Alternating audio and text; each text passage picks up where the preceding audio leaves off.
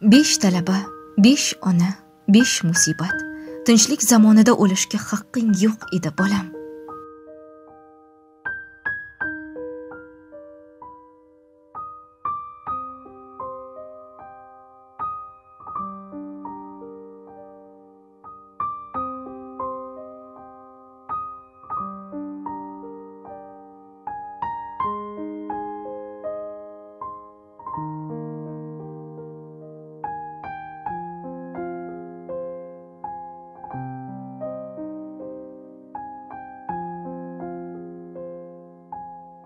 Musibat bo'layotgan xonadonga jurnalist sifatida kirib borishdan og'iri yo'q. Sizni yozmoqchiman yutuqlaringiz bilan o'rtoqlashing deb qanchadan qancha qahramonlarni kashf qilamiz. Lekin musibat zada odamlarga nima deysiz? Ular bilan uchrashganda avvalo nigohlariga qarashga botinolmaysiz keyin tilingiz kalimaga kelmay qoladi.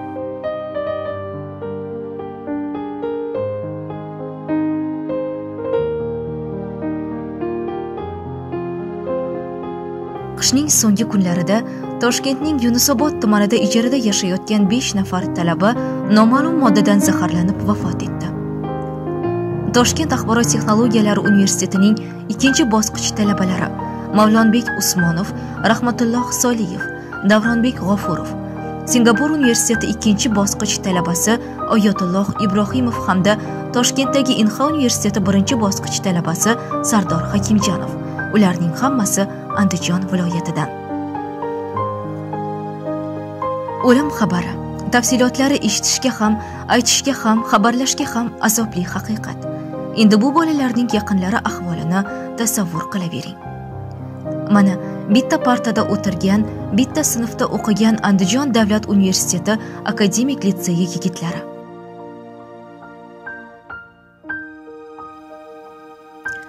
Bolalar haqida gapiradigan o'qituvchilar kerak deyishimiz bilan odatda har doim intervyu berishda o'zini chetga oladigan qahramonlarimiz bu safar men sardor haqida gapirmoqchi edim. Men ayotullohni hech kimga o'xshamaydigan tomonlarini aytsam maylimi? Rahmatulloh yo'lboshchi edi. Hamma bolalarni ortidan ergashtirgan til o'rganishga qiziqtirgandi. Unga havas qilib ergashganlar ko'p edi deya shoshilishdi.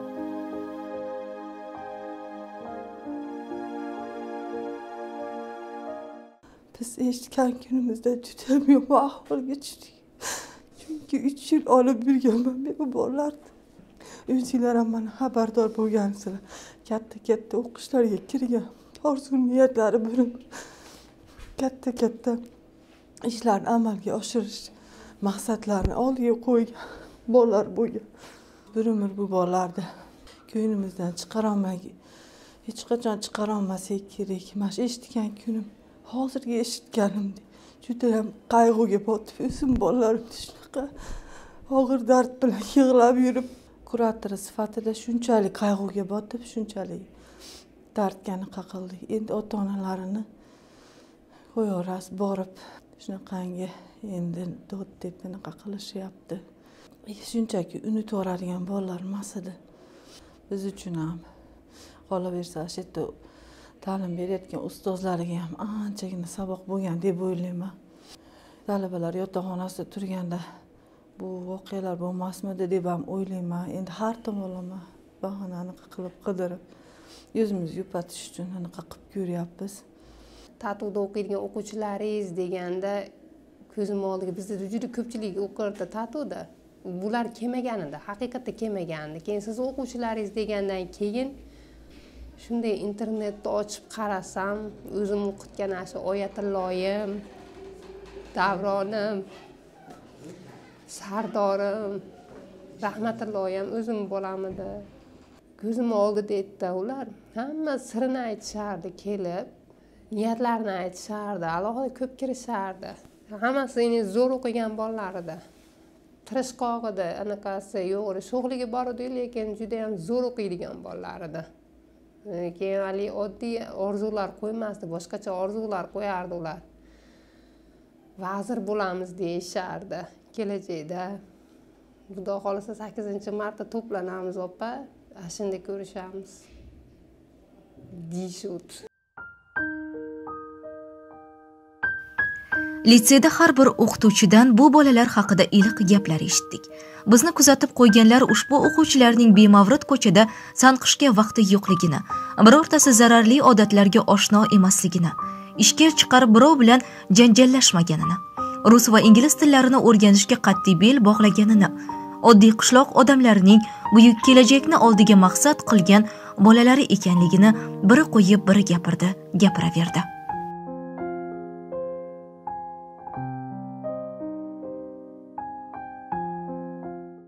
Ismi rahmatullo to'qson sakkizinchi yil tug'ilgan. Beshinchi sinfdan boshlab fizika matematika yo'nalishida o'qishini kuchaytirganmiz. Keyin o'zini qiziqishlari bilan yoshligidanla o'zi iqtidori bilinib qolgan bolami. O'qishga kirib judayam chiroyli bo'lib toshkentlarda yurib o'qishlarini davom ettiryotgandi. Xo'jayinim ham ustachilik bilan shug'ullanadi. Dehqonchilik qiladi. Xo'jayinim ikkalamiz shularni o'qitib bir kelajakda elga yurtga xizmat qiladigan inson bo'lsin deb hamma sharoitlarini qilib berib turibmiz. Hammasi uchala farzandim ham kontrakt asosida o'qiydi. Lekin shu hozir zarnigor qizimga ham yotoqxona yo'q. Yotoqxona bilan ta'minlanmagan. Oldinlari biz o'qigan vaqtda men o'zim farg'ona davlat universitetida to'qson ikkinchi to'qson yettinchi yillar o'qiganman. Judayam yotoqxonalar zo'r edi sharoitlar zo'r edi. Hamma komendantlar qorovullar talabalarni hammasini qo'riqlab uxladimi yotdimi nima bilan shug'ullanyapti qachon keldi shularni nazoratda bo'lardi. Kuratorlar ham doim aloqada bo'lib turar edi shu o'zimiz kvartira topib do'stlar orqali kvartira topib kvartiraga joylashgan edi oxirgi marta shu noyabr oyida darslarim onlayn bo'lsa ham onajonim borib toshkentda onlayn o'qib nimalarim topshiray semestrlarimni oraliq yakuniy nazoratlarimni o'qib topshiraman deb ketuvdi. Yangi yilni ham u yoqda o'tkazdi bolam. Yangi yilda onajonim xursand bo'lsin deb menga yangi yil arafasi ruscha tabrik jo'natibdi. Archani yonida turib bemalol chet davlatlarda o'zini ishi bo'yicha dasturlash bo'yicha chet davlatlarda bemalol ishlarni amalga oshirsa bo'ladi deb orzu umidlar bilan o'tiruvdim. Kontraktini o'zim oyligimdan to'layman. Endi hozir qarang uylar soldik mana katta katta qilib kelin olaylik deb. Spark mashinalarini olib qo'ydik bolamga deb. Qani endi?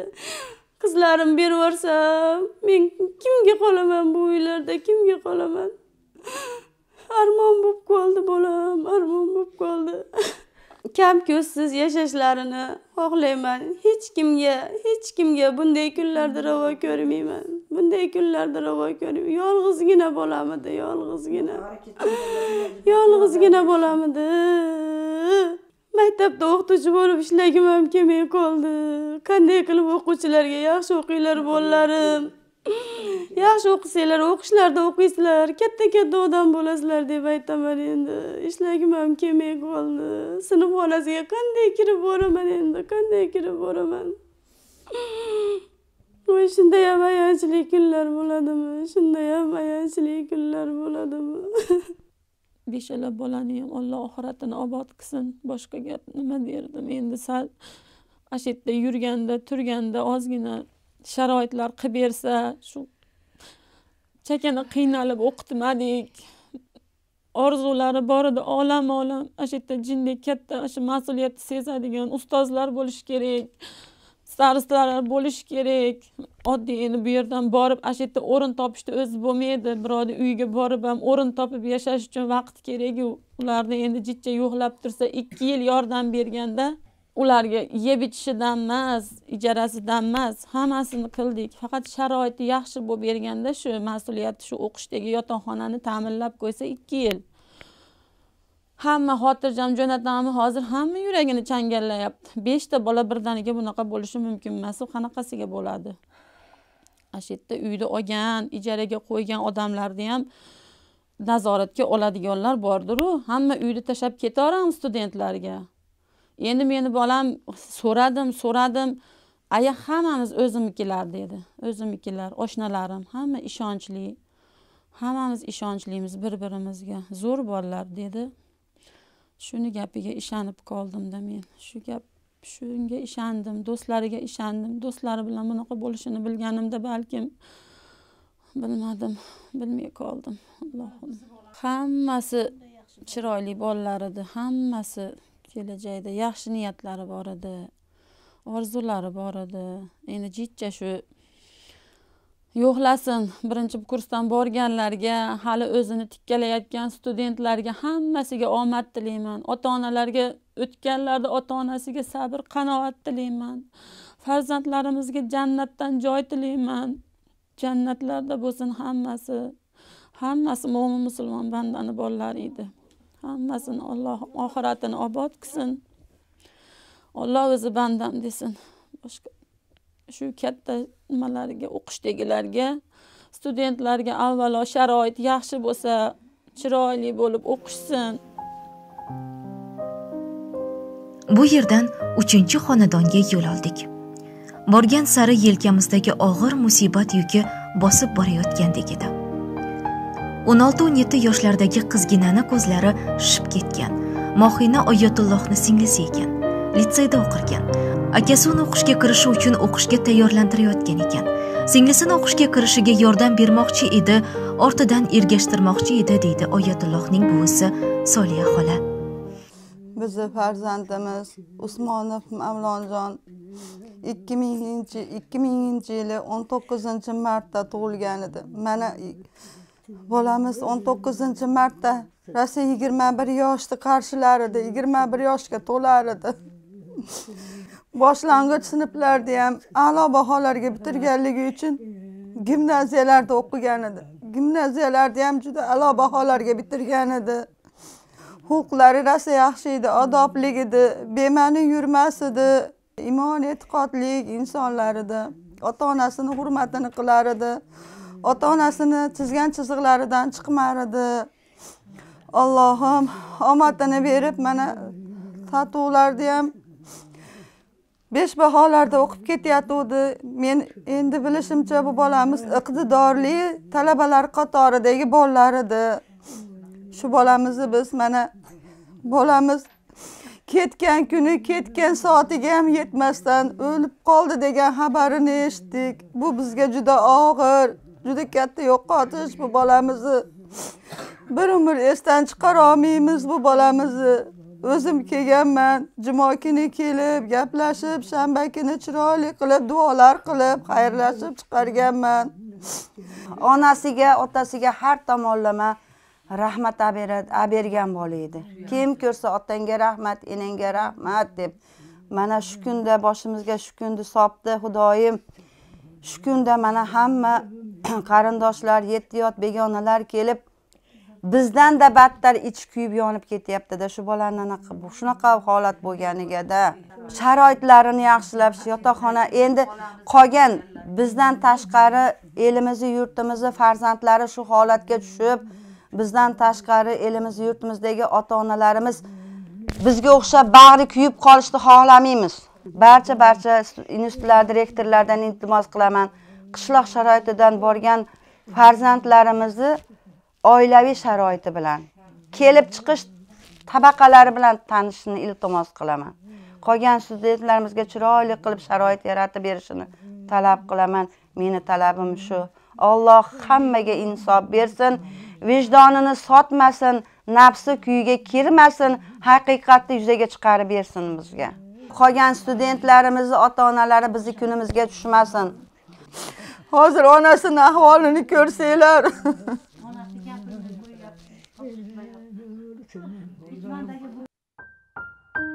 juda og'ir yuk. Juda og'ir taassurotlar bilan ortga qaytyapmiz. Kim bilan nima haqida suhbatlashganimizni tahlil qilishgada ochig'i xayollarimiz chalkashib ketdi. Faqat ko'z oldimda karaxt o'tirgan ona. Bir nafar onani ko'rdim. Besh nafar o'g'lonidan ayrilgan qaddi dol hardam xayol haliyam yomon tush ko'rayapman deya o'zini chalg'itayotgan ishonayotgan onaizorni ko'rdim. Ularni ismlarini yo'l yo'lakay xotiramda tiklashga harakat qildim. Mana munojat opa mana gulshanoy opa. Boshini yuz martalab qayriltirib nevarasini devorga tirkab qo'yilgan suratidan nigohlarini uza olmayotgan salomat buva. Ko'zlarida cheksiz qayg'u cheksiz musibat. Qulog'imda ularning shikasta ovozlari takrorlanadi. O'g'limning oxirgi gapi. Onajon pitsa oldik. Endi xonaga kirib ovqatlanmoqchimiz. Onajon dushanba kuni kontraktimni to'layman. Ukam kechasi bilan dars qilardi. O'sha kuni tungi soat ikki yarimgacha onlayn bo'lgan. O'g'limning telefoni tungi o'n birgacha onlayn turgan. Nima bo'lgan ekan a? O'g'limning qo'llari tekkan kompyuterlari telefonlari qolib ketdi ijarasida.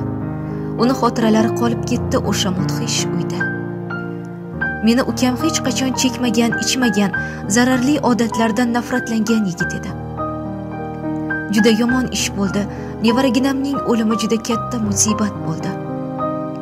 Nega haligacha noma'lum moddadan zaharlangan deb anig'ini aytishmaydi.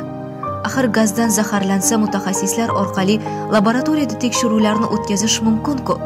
Sinab ko'rish mumkin-ku qandaydir yo'llar bilan. Agar ovqatdan zaharlangan bo'lsa yegan ovqatlarni qoldiqlaridan tekshira oladigan apparatlar bor. Yigirma birinchi asrda yashaymiz. Texnika asrida yashaymiz nahot aniqlab bo'lmasa.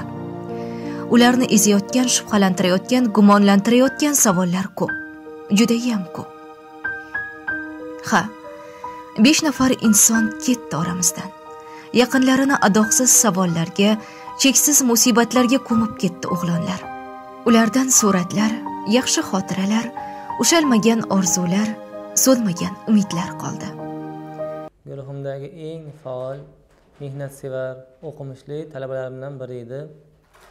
Kelajakda o'zbekistondagi eng yaxshi dasturchilardan biri bo'lish orzusi bor edi. Afsus ushbu falokat ro'y berdi. Oramizdan olib ketdi. Haligacha o'zimizga kelolmaymiz oxirati obod bo'lsin. Oilasiga yaqinlariga alloh sabr bersin. Bu voqeani eshitganimizdan keyin e, to'g'risi o'sha kuni juda qattiq e, shok holatiga ham tushib qoldik. Chunki bu bola hali ko'p narsaga erishadigan bola edi. Endi yigirmaga to'lgan bola edi. Juda ta'sirlanib ketdik bu bolani shunaqa voqeani eshitganimizdan keyin o'sha kuni. G'ofurov davronbek degan bola Э, oramizdan bevaqt o'tganligi bu nafaqat bizda e, universitetimiz balki butun o'zbekiston uchun katta yo'qotish hisoblanadi. Sababi bunaqa talabalarimiz bizda juda yam ko'p hisoblanadi. Chunki e, ko'zidan e, o't chaqnab olov bo'lib turadigan talabalardan biri hisoblanadi bunaqa bolalar. Bu katta yo'qotish universitetimiz uchun ham respublikamiz uchun ham bu juda katta yo'qotish hisoblanadi. Rahmatullohni rejalari kelajakdagi rejalari вообще juda ko'p edi. O'sha applega ishga kiraman degandi hali qarab turing manga yetolmay qolasiz mandan mandan dastxat olib yurasiz deb aytib yurardi manga. O'shaning uchun shu universitet rahbariyatidan вообще то vazirlik oliy ta'lim vazirligidan shuni iltimos qilardim. Talabani faqat o'qish davridagi emas o'qishdan keyingi hayoti bilan ham ozgina qiziqsa darsdan keyin nima ish qilyapti qayerga boryapti kimlar bilan aloqada qilib turibdi. O'shani ham ozgina mm, munosabat bildirsa nazorat qilsa yaxshiroq bo'lardida. Shu talabalar turar joyi bilan bog'liq muammolarni hal qilishda shu amaliy ko'maklar bersa e, yangi tizim yaratishsa ko'pchilik ko'pchilik talabalar hozir qiynaladi yotoqxona masalasi bo'yicha. O'shanga amaliy yordam bersa judayam yaxshi bo'lardi shu talabalar bunaqa falokatlar e, boshqa bo'lmasdi deb o'ylayman manimcha. Sardorbek e, universitetda shu fanlarni o'qishdan tashqari e, it sohasida to'garakka ham qatnashardilar kurslarga. E, ya'ni mana shu it sohasida yetuk mutaxassis bo'lib kadr bo'lib yetish maqsadida edilar. O'z mustaqil fikrlariga ega edilar. Talabalarimiz orasida erishib talabalarimiz orasida ajralib turadigan talabalardan edilar. Undan tashqari Э, tartib intizomli hech qachon э, qonun qoidalarni tartib intizomlarni shu kungacha buzmagandilar. Э, do'stlari ham sardorbek haqida judayam yaxshi fikrga ega edilar. To'g'risi bu xabarni eshitganimizda biz ham tushkunlikka tushib qoldik. Chunki doim aloqada bo'lib turgan talabalarimdan talabalarimdan edilar. Albatta talabamizning yaqinlariga o'z ta'ziyamizni izhor qilamiz. Kechagina ota onasini hayotini quvonchga cheksiz yorug'likka to'ldirib yurgan alp yigitlar bugun oramizda yo'q. Beshonaning nigohida bir savolni ko'rdim. Shunday bolayam shunday yigitam o'ladimi? Tinchlik zamonida ham birdaniga shunaqa yigitlar ham o'ladimi? Yig'layotgan onaizorning qaysi birining dilidagi gaplar tiliga ko'chganini haligacha eslay olmayapman. Sababi bir xil musibat bir xil azob bir xil yo'qotish onalarni yaxlit bir faryodni ko'ksiga sig'mayotgan mushfiq onaizorga aylantirgan edi. Ularning siyratlari suratlari dardlari qalb og'riqlari hijronu azoblarigacha bir xil edi. Ularni dard va armonlar birlashtirdi. Ularning dil nolalari kuchli hayqiriqqa aylandi. Bu o'zbekiston onalarining o'zbekiston onaizorlarining hayqirig'i edi. Tinch zamonda osmoni musaffo yurtda o'lishga haqqing yo'q bolam.